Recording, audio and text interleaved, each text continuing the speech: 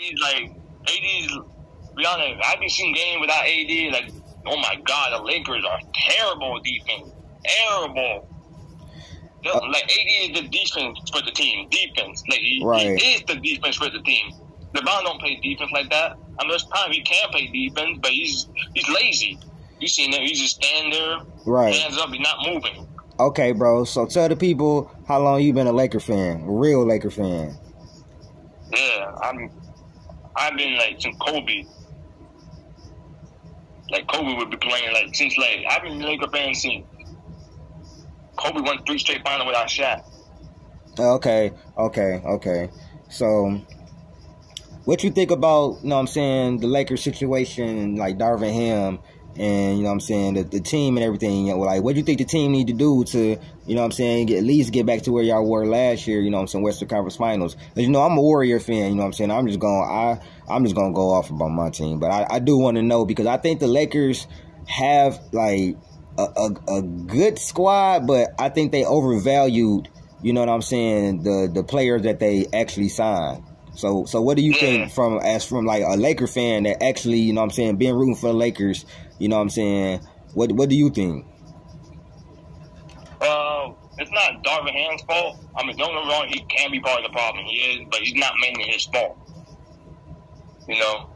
What I think is that um, Austin Reaves, I believe he's kind of overrated. Not gonna lie, I don't think would they Reaves out of like an all star. I think he's just a good six man type of player. You know? Right. Like D'Lo, he's inconsistent. We know that. Like he, this time he averaged like 18 points, but this time he averaged like 11 points. Like bad shooting night. Like I think what I want for the Lakers is, is a rebuild. Take LeBron to a bad team that they're not even winning, like the Wizards. They're not going anywhere. AD, like AD, he still had, you can still do something in his spine. AD's still bit in the spine, so you can send him to like the team that need more defense. I believe like the Bucks. Nah, that'd be a super team. That's, Like, what do you that's definitely a super team right there. Yeah, Dame, AD, and Giannis. Woo! be a super team. They wouldn't even know what to do. And Like- then you would probably have Brook Lopez coming off the bench. Yeah, man. Brook Lopez actually did play with the Lakers with LeBron, and most people forget about that. Oh, oh good LeBron, good LeBron, Giannis team with Brook Lopez. LeBron did play with Brook Lopez with Brandon Ingram and Kuzma. That's a good team, good young squad actually. I just don't understand how a team with two twenty-five point 25 point per game scorers, LeBron James shooting the best season shot from three in a long time, and is since Miami actually. you know what I'm saying. The problem, my two pro- my two problems is you got Jared Vanderbilt and Cam Reddish looking like the same dude, giving you four points in like 30 minutes. Cam Reddish actually playing worse in this season than he was before. Yeah, and they not locking, ain't locking up nobody for real. What they were supposed to do, all I heard was, "Oh, Vando coming back, Vando coming back," and I want the Lakers to do good because just because of the spirit of Kobe, just because of that. I don't like Jeanie Buss because of what she did and signing Steve Nash and signing them boys. Know that and- would, you know that pissed me off. yeah, and doing all that. That's why I don't really fuck with them. Like, but I really do want the Lakers to do good because I like Anthony Davis. You know what I'm saying? But Yeah. the inconsistency, you know what I'm saying, in the past, you know what I'm saying, has kept me like, bro, what the hell is going on? But it's not like now, like both of them is they playing what they doing, they doing what they do. AD more so on both ends of the of the uh the floor. You got LeBron, you know, he have his chase down blocks and everything, but he ain't like he ain't he, he 38, 39. I kind of give him uh, maybe a smidget of a pass, but when people get to saying, "Oh, well, he doing this, and he doing that at 39," okay, you can't have it that way. And then when somebody criticizing him on defense or whatever, he's 39. Like, okay, which one is it? I'm trying to give him a pass because he's 39 and everything, but I can't sit here and be like, "Oh man." Like I'm talking about standing in the paint and somebody coming in and you just watching them go up. Like, whoa, what what we doing? What we doing, bro? And LeBron, LeBron, he wasn't.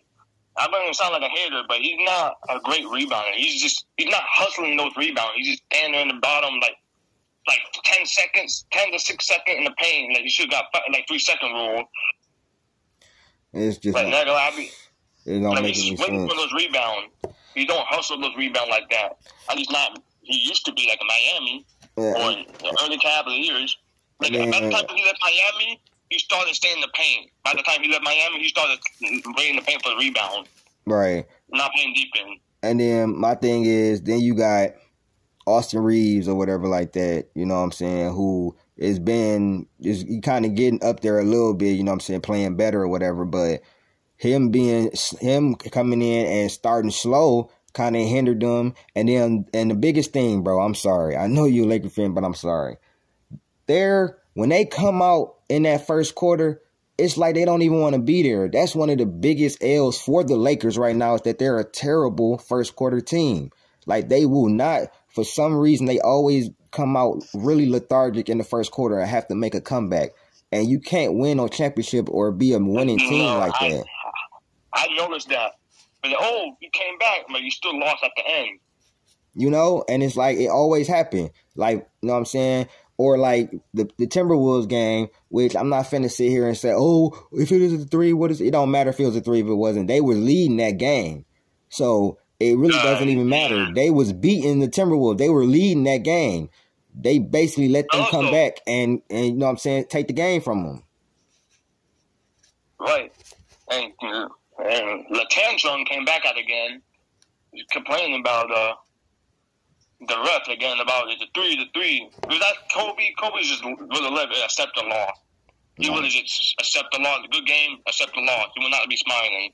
Like ain't nothing, ain't, and that's that's another thing that pisses me off. At the end of the games, when y'all lose, and this nigga over there smiling, laughing, and something like that, I'm like, I know Laker fans, I know Laker fans, like, bro, what the fuck is going on? This ain't got nothing to do with no LeBron fans, nothing like that. I'm talking about real Laker fans over there, like, bro, what the fuck is going on? Ain't shit funny. No, it's not. It's not even just LeBron. It's the whole Laker squad. Yeah. Yes. Yes. Yes. It really is. I seen D-Lo one time just like, you, you, get like, what the fuck is funny, bro? Ain't nothing funny. You niggas just lost. Yeah, we're not even, you probably like a playing team right now, if I'm not mistaken, like 9 seed. I think the 10th seed now after that last loss. They won above yeah. my Warriors, who's, who, I'm to just, listen, bro. Also, I, before I say something, and here's the fact did more for LeBron than Kobe ever did in his late career. Man, talk about it. Yeah, You see, Gene Buss gave him like an old Steve Nash last leg, and Dwight Howard. He just came off an injury. They came off a back injury for Orlando. He's not the same. Matt, uh, um, Dwight Howard. After that, what they did, Jordan Clarkson. They had some young guys like this could have been off. And here's the thing, you know something? Jordan Clarkson played better with Kobe than LeBron did with the Cavs. If you look at the numbers. Right, right, right. And Julius Randle, he never really played with LeBron, so I can't. But he did play better later on than like in New Orleans and the Knicks. You know, he he can be a choker in the playoff, though. He is. Yeah, but my thing is this. But yeah, oh, go ahead. Look at all the look at all of the trade Jimmy Butler did for LeBron more than Kobe. AD, Russell Westbrook, uh, Carmelo Anthony, Dwight Howard again, and you get um, Rajon Rondo, Rajon Rondo, KCP, a solid three and D player, Andre Drummond. Drummond, Kyle, well, Kyle Kuzma was in the league of beginning. Never mind. And Brook Lopez later on that one year. What else? I'm tired. It's just like it's rinse and repeat. It's just like, okay, we get these pieces in the off season, and then we get this new coach. All right. I was looking at worse all that for Kobe in later career. they, they didn't give a fuck. They gave okay, we're gonna get you all right, we're gonna get you Metta World Peace. We're gonna get you you know what I'm saying? Maybe Trevor Ariza here. You know what I'm saying? We're going to develop Andrew Bynum. We're going to get you Pau Gasol. You know what I'm saying? Who is a really, really good player. That's going to be your you know, next piece. You know what I'm saying? Then I'm buying him. You just roll with it. As hell. Yep. He might be more injury prone than AD. He might be. Injury prone as hell. Everybody, and I ain't, and that ain't even to say he was a bad player because Bynum used to be no, killing, but he couldn't never stay on the floor. But and here's the thing: people said, "Oh, Bynum was a top two center, not in the two and 210." Boy, please, boy, please. That nigga went. He was not an all star until 2012. That's later. That nigga was not no top two center. He was really good, but he wasn't no. Come on, bro, y'all. That's to show you how how much people hate this man even more now that he's gone. Yeah. Like, and also, Bynum in the final was terrible if you look at it. Listen. Terrible. I watched those finals and like, bro, that's him and Pau. That first final in 2008 when Pau got bullied by KG, and they had one of the worst finals losses I've ever seen, and I never seen, I never thought they was going to get done like that. And what happened? That off season, they go to the Olympics, and everybody know what happens with the Redeem team. He runs into his chest. He put the uh the gold medal at his uh bench. They come the next year. It's a different pile. We get to the final, Right. win. The next year, come back, got to face KG again, and he was a different beast. Like, Right. And if that's AD, who knows what's gonna happen? Like AD, like Kobe toughened the AD up, deal with the injury, deal with all that. Who knows what's gonna happen? That's a three P, might be a four P. that's what I'm trying to say. I'm like, yo, I'm like, listen, he went to three straight with Pau. What makes you think? Okay, it, you can say injury. I was like, you can say injury. You know what I'm saying? But all that inconsistent, all that junk like that, man, he would have had a, a good long talking with AD, bro. During this during the season, before that even, you know what I'm saying, i i the first 20 games of AD having uh, have six good games and then 12 bad games, Kobe gonna pull him to the side like, bro, what did you like? Hey, you either finna get it together or you finna or AD was gonna be out of there. And here's, you know the haters say Kobe's not a great leader. You know this time that Kobe, you know Lamar Odom, he lost one of his kids, Yeah. a baby. Yeah, and Kobe, he didn't ignore him. He's like, you know, trying to um, soften, trying to cheer him up. You know, on Kobe. Yeah. Like I believe him, and- I believe him and Ron and Artest tried to cheer Lamar Odom up.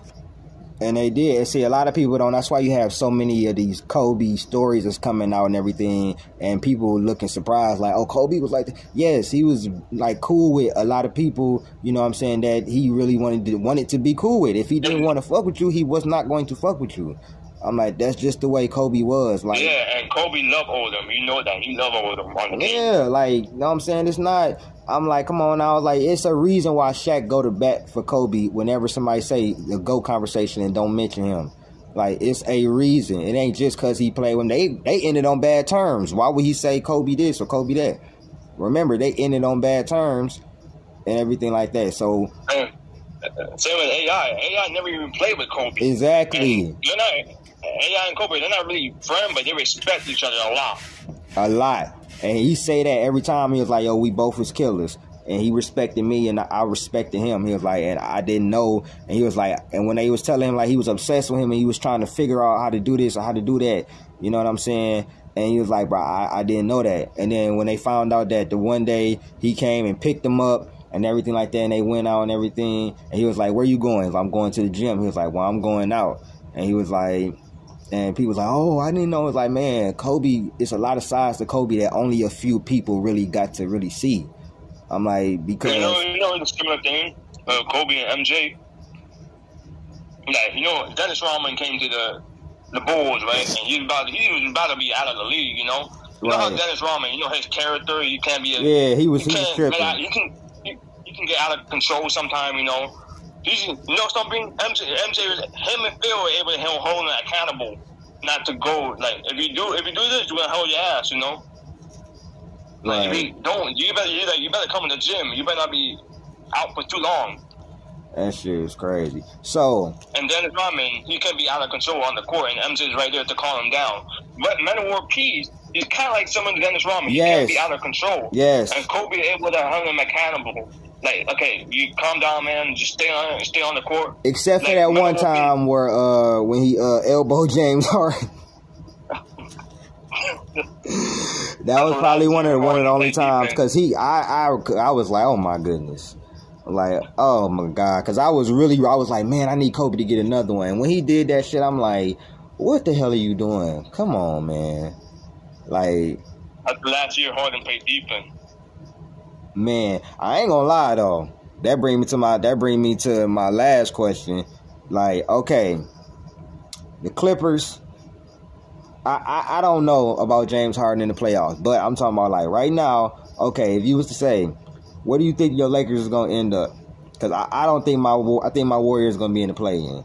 But if, if I was asked you where you think your Lakers gonna end up, you know I'm saying this before the trade deadline, because after the trade deadline, I'll probably ask you after because ain't you know they, you know y'all getting the trade, you know y'all getting it, you know he not letting it. Uh, he not letting this Yeah, ride. every year we got a trade. Every year, but we we're, we're looking. We've seen every year of the trade, by so far, the past three years. Mm-hmm. No LaVine coming So or I already see what's gonna happen. I already know. I've been hearing rumors that they want Dejounte Murray and LaVine. I've been hearing it already. Yep. I've been hearing that for a minute. The uh LaVine and everything like that. And then last night I heard Siakam. I did hear that. Oh yeah, yeah. They're Raptors looking to trade him, right? yeah. I, I want my Warriors to get him, but I'm like, I, hey, wherever he go, he gon' he gonna be a big. I want him to go to a, like a just a good contender. I'm like, I be, I was hearing the Lakers was uh kind of peeking at him, but for the most part, I've been hearing like LaVine and um. I heard I keep hearing this Trae Young shit for some, for some reason, but I'm like, um, Trae Young, yeah, I don't see him going anywhere. I think Yeah, I'm like, I don't, I don't, I don't, I don't know about that. But then I've been hearing Dejounte Murray. I've definitely been hearing that. Yeah, that, I can see Dejounte Murray being a different team and being a trade.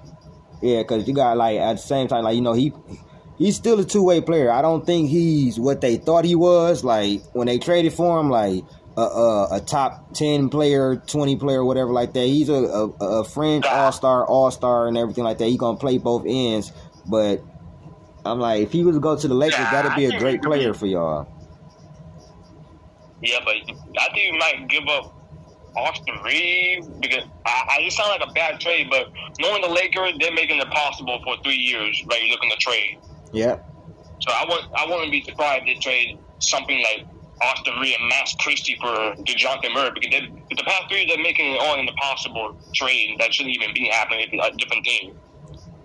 They uh, they always do something, but I think they might get rid of uh, D'Lo, if anything. Like Yeah, D'Lo, D'Lo, D'Lo, and maybe D'Lo Max and- Christie, and probably Cam Reddish in there. but I don't I don't know if Atlanta will go for that though. Uh, I'm just not. I don't know. What do you think about your words getting like Dejounte Murray? You think he'd be a good fit?